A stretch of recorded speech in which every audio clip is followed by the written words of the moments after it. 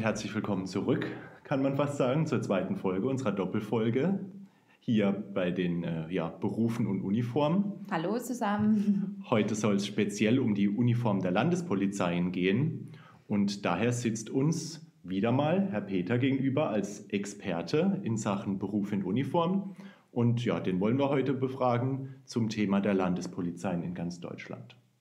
Ganz genau. Wir werden uns ein bisschen langhangeln an dem Beispiel der Landespolizei in Baden-Württemberg. Nichtsdestotrotz sind es natürlich allgemeine Informationen, die dann auch für die anderen Bundesländer gelten. Genau. Und damit wir keine Zeit verlieren, wollen wir direkt durchstarten mit der ersten Frage an Sie, Herr Peter. Die erste Frage ist erstmal ähm, für unsere Zuhörer vielleicht auch, macht es überhaupt einen Unterschied, ob wir jetzt von der Landespolizei Baden-Württemberg sprechen oder was heißt das überhaupt für einen? Gibt es andere Landespolizeien? Wie viele gibt es? Und was, warum betonen wir das heute vielleicht so, dass wir über Baden-Württemberg sprechen? Ja, natürlich gibt es viele Landespolizeien, so viele wie Bundesländer, sprich 16, es gibt 16 Landespolizeien, hat aber mit dem Föderalismus zu tun. Äh, es gibt zentralistische Staaten, wir sind eine föderalistische Nation und dementsprechend hat auch jedes Bundesland seine eigene, Bund seine eigene Landespolizei. Wir werden also vom Land bezahlt. Die Tätigkeitsfelder bei der Landespolizei Baden-Württemberg, bei der Landespolizei Berlin oder Hamburg sind natürlich gleich. Okay.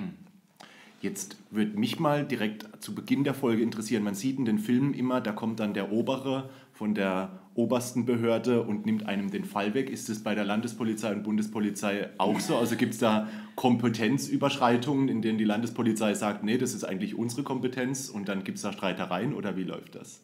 Ach, das sind so äh, Filmsequenzen, hauptsächlich amerikanischen Filmen. Ja, richtig. Wir sind, wir sind äh, in Deutschland, wir haben einmal ein anderes Rechtssystem und Fälle weggenommen bekommt niemand, okay. sondern äh, es gibt aufgrund von der Schwere der Taten etc.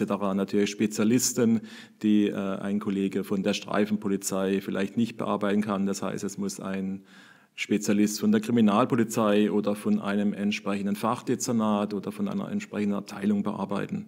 Weggenommen bekommt man nicht, sondern man arbeitet im Prinzip zu oder hilft den Kollegen bei der Aufklärung dieser Fälle. Okay, also gibt es da klare Grenzen der Kompetenzen und dann geht es einfach in eine andere Kompetenz über. Mhm. Genau. Das ist schon mal ganz interessant. Was für Ausbildungen allgemein gibt es denn bei der Polizei? Also bedeutet Ausbildung erstmal Uniform immer oder gibt es da auch verschiedene Ausbildungen, auf die man sich bewerben kann? Also bei der Landespolizei Baden-Württemberg gibt es zwei Ausbildungsstränge. Vielmehr, es gibt eine Ausbildung und es gibt ein Studium. Ausbildung bedeutet, dass ich mit mittlerer Reife zur Polizei gehen kann. Wenn ich bei der Polizei studieren möchte, brauche ich entweder Fachhochschleife oder Abitur. Den Unterschied erkennt man in aller Regel an den Sternen auf den Schulterklappen der Polizei. Jeder weiß, dass die Polizei Sterne auf den Schulterklappen hat. Mhm. Es gibt blaue Sterne, es gibt Silbersterne, es gibt Goldsterne. Man muss sich das einfach so vorstellen. Blaue Sterne ist die Ausbildung, Silbersterne ist das Studium und ein Masterstudium sind Goldsterne. Okay. Aha. Schon mal interessant zu wissen, das Auf wusste ich jetzt Fall. auch nicht. Werde ich darauf achten jetzt. Und genau das ist wahrscheinlich auch der Unterschied zu anderen Landespolizeien, dass es da nicht immer mit dem Realschulabschluss geht oder dass man nicht immer auch eine Ausbildung machen kann. Zumindest hatten wir das immer so verstanden, dass man ja. darauf achten muss, wo man wohnt und wie es da geregelt ist, oder? Das ist richtig. Es ja. gibt äh, Länder, da kann ich nur mit Fachhochschulreife oder Studium zur Polizei gehen, weil dort gibt es nur die Kommissarslaufbahn noch. Aber wir in Baden-Württemberg, genauso wie zum Beispiel Berlin oder Bayern, haben noch den mittleren Dienst, also wo man auch noch mit mittlerer Reife zur Polizei gehen kann. Okay, also macht euch unbedingt direkt schlau, da wo ihr wohnt in welchem Bundesland auch immer, dass ihr euch da schlau macht, wie die Einstellungskriterien sind oder mit welchen Voraussetzungen. Ihr braucht nicht immer ein Abi, um zur Polizei zu können, ja, sondern genau. in manchen Bundesländern reicht auch schon die mittlere Reife. Ja. Was gibt es denn so überhaupt für Einstellungskriterien, wenn ich jetzt Polizist oder Polizistin werden möchte? Wir verlangen natürlich auch gewisse Mindestgrößen. Äh, in der Regel sind es 1,60. Wir machen aber auch, auch Ausnahmen bis 1,50 Meter, mhm. wo wir oft äh, Probleme haben. Das hat aber nichts mit der Polizei des Landes Baden-Württemberg zu tun, sondern es ist ein allgemeines Problem mit den gesundheitlichen Voraussetzungen, die in jedem Bundesland gleich sind. Sollte jemand also starke Allergien, Asthma oder solche Sachen haben, müssen wir leider sagen, äh, da ist der Wunsch, Polizeibeamter zu sein, leider nicht erfüllbar, da der Polizeiberuf natürlich ein sehr anstrengender, ja. Äh, einmal körperlich, aber auch physisch und psychischer Beruf ist, der einiges abverlangt und dementsprechend sollte man topfit sein, um zur Polizei zu gehen. Mhm. Natürlich kann ich nicht als äh, Berufsverbrecher zur Polizei gehen. Äh, also man sollte schon eine weiße Weste haben, um zur Polizei zu gehen. Natürlich äh, sollte man auch verfassungstreu sein. Dementsprechend äh, wird man auch zu einer Unterschrift gebeten, dass man sich an Recht und Gesetz hält, dass man an die Grundordnung glaubt. Wir haben auch einen Body Mass Index, das heißt, man darf bei der Polizei nicht zu leicht und nicht zu schwer sein. Äh, Hintergrund von dieser Vorgabe ist, äh, man kennt ja Polizisten im Einsatz mit Helmen, mit Einsatzkleidung und so weiter. Und diese Einsatzkleidung wiegt etwa 17 Kilo. Und wenn ich in einem Einsatz bin und ich bin äh, körperlich zu leicht oder körperlich zu schwer, habe ich natürlich nach ein, zwei Stunden Probleme. Und ich kann natürlich äh, meine Kollegin dann äh, nicht im Stich lassen, weil ich sage, ich packe das nicht mehr. Das sind halt so, so Kleinigkeiten. Jetzt äh, bin ich, da komme ich da durch. Ich habe meinen Job als, beziehungsweise ich äh, unterschreibe meinen Ausbildungsvertrag bei der Polizei. Der mhm. erste Tag beginnt. Herr Peter, wie läuft denn jetzt die Ausbildung der drei oder die dreijährige Ausbildung im mittleren Dienst, würde ich jetzt mal sagen, als Beispiel bei der Polizei Baden-Württemberg ab? Man bekommt äh, kurz vor Beginn natürlich einen Brief, wo geht es hin, denn die Polizei hat in Baden-Württemberg fünf Ausbildungsorte. Man wird natürlich freundlich begrüßt, bekommt dann ein Zweibettzimmer zugeteilt. Das heißt, es muss einem klar sein, wenn es zur Polizei geht, dass man auf der Polizeischule in zwei Bettzimmern liegt, mhm. bekommt dann einen Stundenplan und vier Wochen später eine Uniform, denn auf einmal habe ich äh, nicht mehr das Problem, was ich anziehe, sondern jetzt weiß ich, ich mache meinen Unterricht in Uniform und werde dann für ein Jahr auf der Polizeischule einmal natürlich viele theoretische Fächer, aber auch Praxisfächer unterrichtet bekommen. Das Tolle an der Polizeischule ist, es gibt endlich mal Geld. Ich verdiene etwa ja. 1200 Euro in der Ausbildung, muss fürs Essen etwa 150 Euro bezahlen. Die Unterkunft ist nur mit dem Geldwertvorteil von 60 Euro, wenn man es macht, in der Jahressteuererklärung anzugeben. Und dann werde ich wirklich ein Polizeischüler in Uniform sein. Ich werde äh, geschult in rechtlichen Fragen. Ich werde natürlich auch geschult äh, mit den Dingen, die ein Polizist am Gürtel hat. Man kennt zwar die Waffe, aber dass wir auch Pfefferspray, dass wir Handschließen, ja. äh, dass wir äh, noch andere Dinge am Gürtel haben, Taschenlampe und so weiter. Mit diesen Dingen lerne ich umzugehen. Ich mache ein Fahrsicherheitstraining und wenn ich mein erstes Jahr mit einer Abschlussprüfung überstanden, bestanden habe, gehe ich für ein Jahr auf ein Polizeirevier. Das heißt, ich werde nun das, was ich in der Theorie gelernt habe, in der Praxis vertiefen. Ein sogenannter Praxisausbilder wird mich dieses Jahr durch den Streifendienst bei einem Polizeirevier begleiten und dann werde ich zum ersten Mal in meinem Leben auch unregelmäßige Arbeitszeiten kennenlernen. Ich mhm. werde Schichtdienst arbeiten. Ich werde zum ersten Mal äh, so einen Feiertags arbeiten müssen. Ich werde vielleicht an meinem Geburtstag nur einen halben Tag frei bekommen. Auf der anderen Seite habe ich natürlich viel Freizeit dann auch während der Woche. Nach diesem Jahr geht es noch ein halbes Jahr zur Schule und nach zweieinhalb Jahren habe ich nochmal eine endgültige Abschlussprüfung. Wenn ich die bestanden habe, erhalte ich meinen zweiten blauen Stern. In der Ausbildung habe ich einen blauen Stern auf meinen Schulterklappen, den zweiten blauen Stern und dann nenne ich mich Polizeimeister. Das Einzige, was mir im Weg steht immer, sind natürlich die Prüfungen, die muss ich mhm. bestehen und gesundheitlich darf natürlich auch nichts dazwischen kommen. Und dann bin ich Polizeimeister.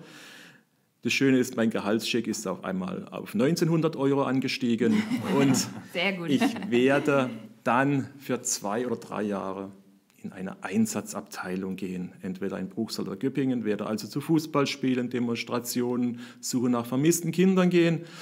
Und wenn ich diese Zeit vorbei habe, komme ich auf ein Polizeirevier, aber man muss davon ausgehen, dass man so die ersten fünf, sechs Jahre nicht heimatnah verwendet wird, sondern dass man in einer Großstadt verwendet wird, in Stuttgart, Mannheim oder Heilbronn, was natürlich meinen Horizont erweitert. Ich werde äh, andere Landschaften, andere Kulturen, andere Leute kennenlernen. Äh, ich kann nur von mir reden. Ich war vier Jahre oder fünf Jahre in Mannheim. Ja. Und Sie, wie, Sie, wie Sie hören, es hat mir nicht geschadet.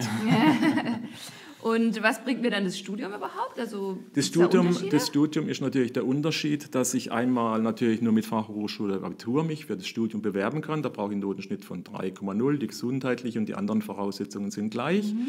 Das Studium beginnt auch an der Polizeischule für neun Monate. Dann ist ein halbes Jahr Praxis bei der Schutz- und der Kriminalpolizei vorgesehen. Das heißt, ich bin ein Vierteljahr auf einem Polizeirevier, ich bin einige Monate bei der Kriminalpolizei, denn ich muss mich nach diesem Praxisteil entscheiden, gehe ich den Studiengang Schutz oder gehe ich den Studiengang Kriminalpolizei an. Ah, okay. Und wenn ich dann nochmal drei Jahre studiert habe in Villingen-Schwenningen, bin ich nach abgeschlossenem Studium entsprechend Abgabe der, der Thesis entweder Kriminal- oder Polizeikommissar. Der Titel ist anders, die Bezahlung ist gleich. Ich verdiene etwa 2400 Euro. Und auch in dieser Laufbahn wird mein nächster Dienstsitz voraussichtlich in Stuttgart oder Mannheim sein, denn es muss jedem klar sein, ich gehe zur Polizei des Landes Baden-Württemberg. Das heißt, mein Einsatzbereich ist auch das Land Baden-Württemberg. Ja unbedingt als Rahmenbedingung immer vor Augen führen. Ne? Ich denke, das ist auch in jedem Bundesland ja. gleich, dass man da ähm, ja, flexibel genug sein ja. muss, zumindest im eigenen Bundesland, in dem man sich ja. bewirbt. Kriminalpolizist, so ein Stichwort.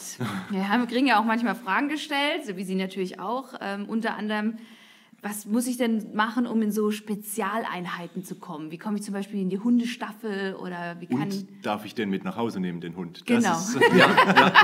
ja das, das sind natürlich auch Fragen, die ich immer wieder bekomme, ganz klar. Äh, wenn ich meine Ausbildung beendet habe, wird mein erster Weg erstmal entweder der Streifendienst bei der uniformierten Polizei oder der Kriminaldauerdienst bei der Kriminalpolizei sein. Denn das sind praktisch äh, die Dienststellen, an denen ich mein Grundgerüst für die spätere eventuelle Verwendung lerne, damit ich auch weiß, was ist auf der Straße los, was geht an der Basis. Und dann kann ich versuchen, meinen Berufswunsch Sondereinsatzkommando, mobiles Einsatzkommando, Rauschgiftdezernat, Mord, mhm. Raub, mhm. Diebstahl, Wirtschaftsdelikte, mhm. Spurensuche, Erkennungsdienste, dann kann ich versuchen, in diese Richtung zu gehen. Mhm. Das heißt, ich habe den Vorteil am Anfang, ich habe ein großes Basiswissen, kein Spezialwissen.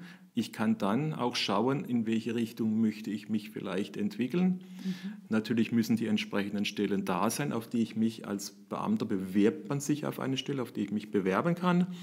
Und dann kann es sein, dass ich genau diese Stelle bekomme, die ich möchte. Es kann aber genauso gut sein, ich muss mehrere Anläufe machen, damit ich auf diese Stelle komme. Und jetzt zur Frage vom Hund.